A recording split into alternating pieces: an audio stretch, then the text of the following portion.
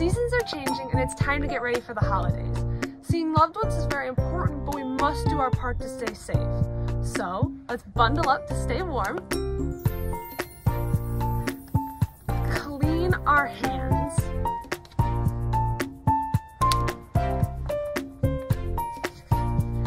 and wear our mask.